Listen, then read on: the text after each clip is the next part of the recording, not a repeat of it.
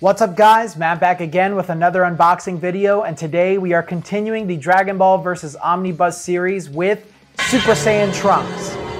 But like always guys, please remember to subscribe to the channel if you haven't already. Ring the bell notification, that way you get notified whenever I upload a brand new video. Like this video if you enjoy it and of course comment your thoughts down below in the comment section at the end of the review so we can have a discussion on this figure. Here he is guys, Super Saiyan Trunks. Uh, one thing that a lot of people have been asking me is if this Trunks is better than the Master Stars piece Trunks, which I did a, a bootleg video um, right here. You guys can watch that. Uh, I will be reviewing that figure in a proper review very soon. I'm doing a lot of backlogged figures. Um, that's why some are missing on my shelves right now. They're in other places.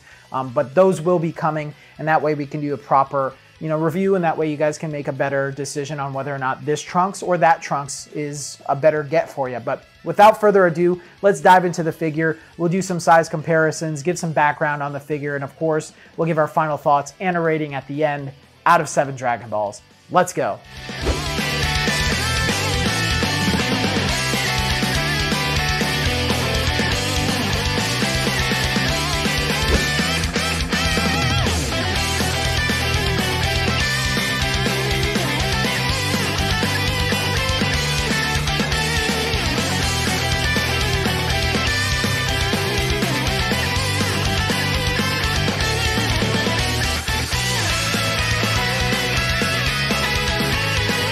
This figure is based on Super Saiyan Trunks from the Android saga of Dragon Ball Z. It's based on Trunks revealing his Super Saiyan form to Mecha Frieza.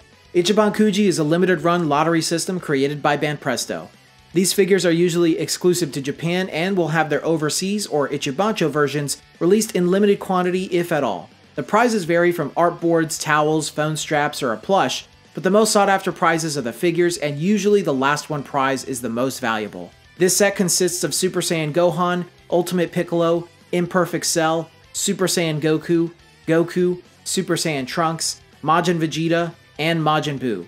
This Kuji set was released in Japan on October 15th, 2022, and will have an overseas release except for Majin Buu. There are no variations of this figure currently. You can find this figure in the links in the description for about $70. This figure is made of PVC and ABS.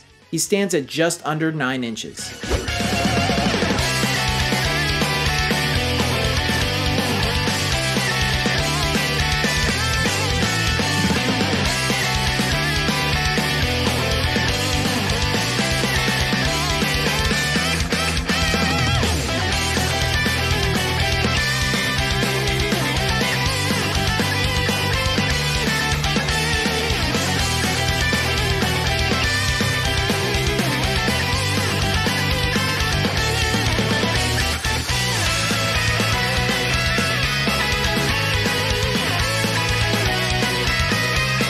Trunks comes in three pieces, his upper body, lower body, and support for his foot.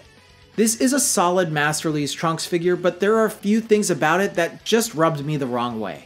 His likeness is okay at best. I'm not quite sure what happened, but no matter what angle I look at him, he just ends up looking kind of goofy. His eyes have too dark of a bolded outline around them, his eyes aren't completely straight, his mouth looks a little janky, and the position they put his face just has it in an awkward spot. I think if they lifted his chin up a bit and took a little more time to fix up his eyes and mouth, then this would have been perfect. His hair seems a little too small too. Maybe if they made his hair sculpt a bit bigger, it would have looked better on his head. Paint and shading are great. I don't know what it is about the omnibus style for Super Saiyan hair, but I love it. There is subtle shading all over the figure as well. I would have liked for a little more shading to make the figure pop more, but it still looks great. Size and scaling are perfect too. He is shorter than the Master Stars piece version of Trunks, but not by much. Trunks is the perfect size and scales well with most figures in collections. Finally, his sculpt is good, but there is something I disliked about it. It was really tough connecting his upper body to his lower body. So tough that no matter how hard I pressed, he still isn't 100% connected, and you can see a small separation by his waist. I'm not sure if this is by design, I doubt it, but it just makes it seem like the quality of the entire build wasn't thought out of all the way. Overall, this is a solid Trunks figure, but certainly not my favorite. I'm still unsure if I prefer this over the Master Stars piece version as there is a lot to like about this one over the older figure. If you're a fan of Trunks, I still think this is worth a pickup regardless of all the issues. I'm giving this one 5 out of 7 Dragon Balls.